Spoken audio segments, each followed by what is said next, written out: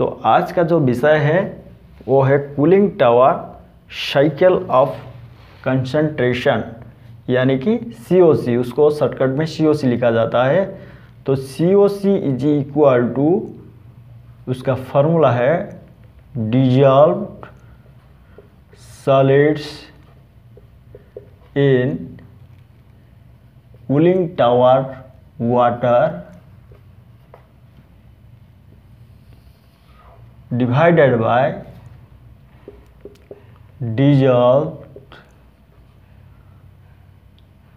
solids in makeup water. Or total dissolved solids in cooling tower water divided by total dissolve solids in makeup water makeup water या फिर total hardness in cooling tower water divided by total hardness in makeup water तो ये है एक ठो cooling tower का सी O सी निकालने का फार्मूला तो अभी एक तो एग्ज़ाम्पल लेके हम लोगों देखेंगे कि कूलिंग टावर का जो सी ओ सी है, उसको आप कैसे निकाल पाएँगे। तो पहले अभी एक तो एग्ज़ाम्पल लेते हैं।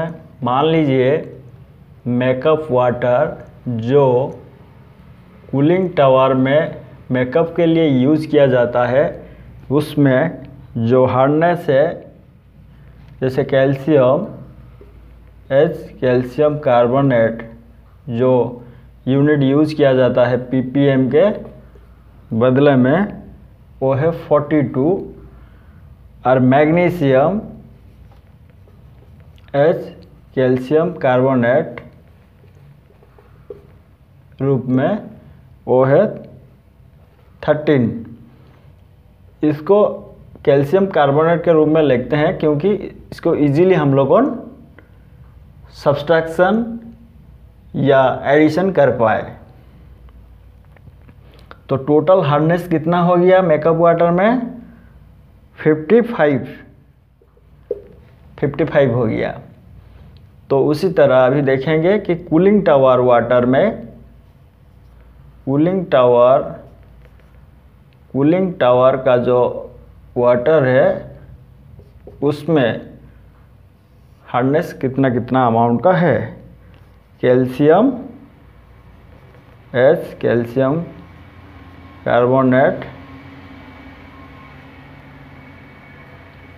236 magnesium as calcium carbonate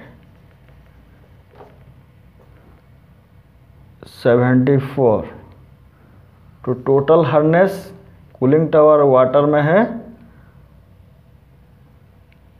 310 तो अभी सी ओ सी हम लोगों निकालेंगे।